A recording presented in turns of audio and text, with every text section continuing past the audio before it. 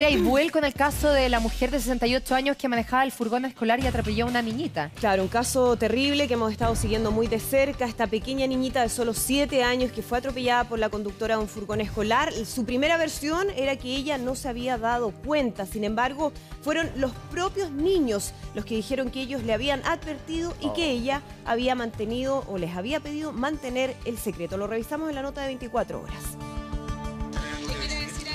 Hasta este martes, la versión de María Eugenia Viteri, la transportista escolar que atropelló a la pequeña Ruo Yuan Li, de que no se había dado cuenta del accidente, podía tener algo de verosimilitud, pero testimonios e imágenes la echaron por tierra. Estas cámaras pertenecen a un servicentro a poco más de dos cuadras del lugar del accidente en ella se quedó registrado a los pocos minutos cómo la conductora llegó manejando el furgón escolar aún con niños en su interior. Nerviosa bajó a revisar el vehículo, especialmente la parte frontal. Y después regresa al tiro al auto y se sube, ya no, ya, no quiero nada y se va como alterada, estaba así nerviosa. Me hablaba, era como gritándome, me ha dicho a mí. Una pareja de hermanos, niños que estaban al interior del vehículo son hoy la prueba esencial contra la tía del furgón. Ellos sí se habrían percatado del atropello y que le alertan a la tía del furgón con el objeto, digamos, de que ésta se eh, detuviera y prestar auxilio, cuestión que no hace, a lo que la tía le contesta, eh, esto es un secreto. Además existe una llamada perdida y otra realizada de la transportista a uno de los apoderados a la misma hora del atropello, por lo que la Fiscalía cree que pudo haber estado usando su celular a la hora del accidente, además de no respetar un signo pare. Ya en 1999 y 2004 había sido multada como conductora por no respetar señaléticas. En los vehículos no se puede observar de que ella incremente la velocidad o algo similar. Muy por el contrario, ella siguió haciendo su trabajo, distribuyendo a los distintos niños. Ella al día siguiente continúa trabajando y nunca se percató de que ella pudo haber tenido participación en un atropello. Protegida por su abogado y sin emitir ningún comentario, ni siquiera disculpas a la familia de Ruo Lee, María Eugenia Viteri salió libre. Solamente se le prohibió salir del país y se le retuvo su licencia de conducir. No pudimos hablar, no sé nada, no tengo nada, no tengo idea. Ojalá que se, que se haga la justicia nomás, nada más, y ahora lo primero quiero estar con mi hija. La recuperación de ella es más, importante ahora. Un padre agradecido con todos quienes ayudaron a su hija y que hoy le permiten tener una esperanza más allá de todo lo que suceda con quien aparece como la única responsable del atropello de Ruoli. Un caso horrible que yo no sé qué opinan ustedes aquí, pero a mí me parece un doble descriterio y doble delito en el sentido de que ella primero uno creyó. A mí, cuando yo vi estas imágenes, dije imposible, no se dio cuenta. Esta mujer de 67 años fue lenta y no la dio. Y no solamente no para el furgón, eh, no auxilia a una niñita de 7 años, sino que además expone a los niños que ella llevaba a un secreto terrible. Los hace cómplices de un delito que ella cometió. Bueno, aquí hay un tema que es gravísimo, ¿no? Porque está el atropello y las causas de ese atropello, es decir, si ella no respetó una señal de tránsito, ella estaba conduciendo quizás distraída, es una de las hipótesis que se está barajando, que haya estado hablando por teléfono, pero además el hecho de conscientemente dejar a una persona y peor aún a una niñita atropellada sin prestarle ayuda, eso es gravísimo. Eh, es por eso que, genera tanto impacto, cómo una persona puede tener tan poca sensibilidad, tan poca empatía de ver que hay alguien que sufrió un atropello y no prestarle ayuda. Eso como sabemos, por ejemplo, la ley Emilia es un agravante, ¿no?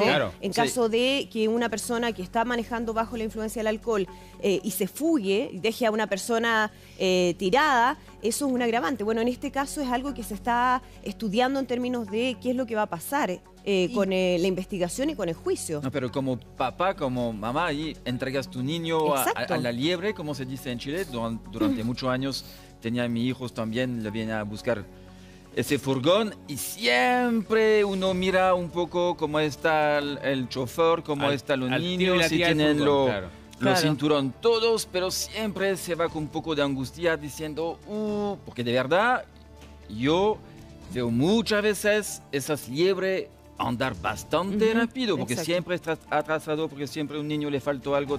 Entonces al final en la calle en la mañana lo veo a toda velocidad y lo que pasó hoy día realmente eh, preocupante, ¿eh? como un padre muy feo. Uno espera que una mujer que lleva niños en su interior en un furgón sea mucho más criteriosa, se preocupe más, o sea, ya independiente de que cualquier ser humano uno cree que es como inconcebible que no pare a rescatar y socorrer a una niñita que atropelló, eso ya es gravísimo, pero además una persona que es responsable de tantos niños en un furgón. Y no solamente eso, además lo hace cómplice, le dice, guardemos el secreto, mira aquí dice el diario La Cuarta, por ejemplo, tía de furgón habría pedido que atropello que en secreto. Como decía la Andrea, al parecer los niños le advirtieron, tía, tía, atropelló a una niñita. y ella, quédense callados, este va a ser un secreto entre nosotros. Mira, dice, conmoción nacional causó el caso de la tía del furgón escolar que atropelló en a una niñita de 7 años. Ruli está en riesgo vital en la clínica alemana, en coma inducido con ventilación mecánica, una contusión cerebral, pulmonar, otra en el corazón y múltiples factores fractura, es que es como no tener corazón.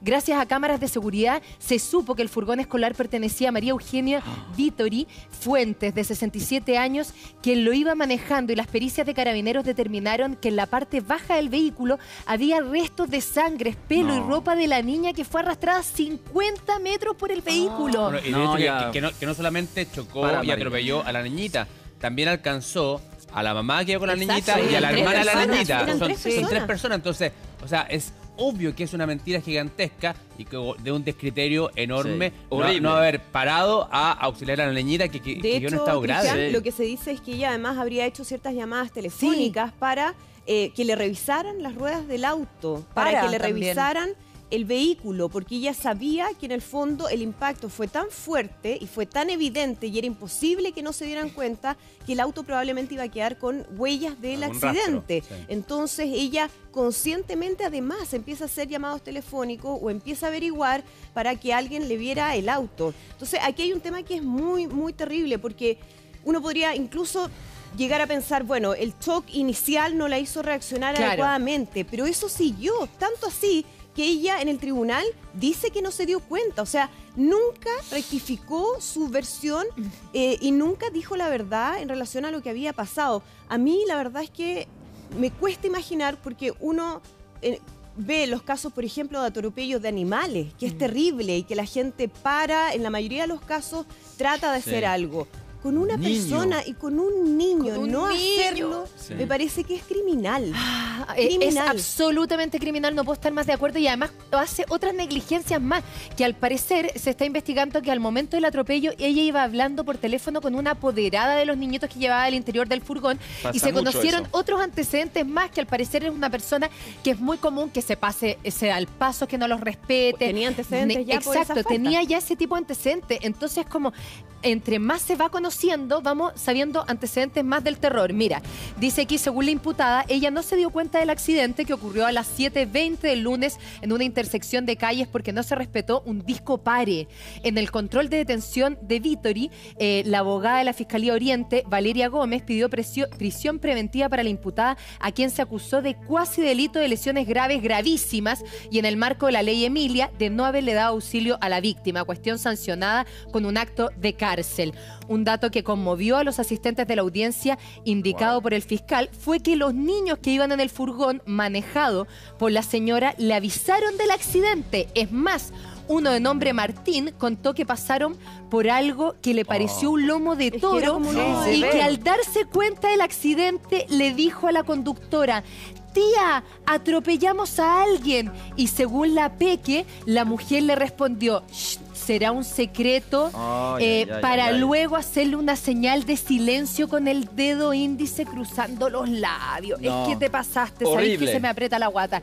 Es como para no creerlo que exista un ser humano así que haya hecho esto. Pero tocamos un problema de fondo también, donde quién revisa un poco la, los choferes de los transportes de los transportes que escolares. que es como que... No hay unas reglas diciendo si tú tienes ya un, un ¿cómo se llama? Hoja de vida eh, manchada, no puedes manejar un furgón escolar, parece tan obvio. No, está claro.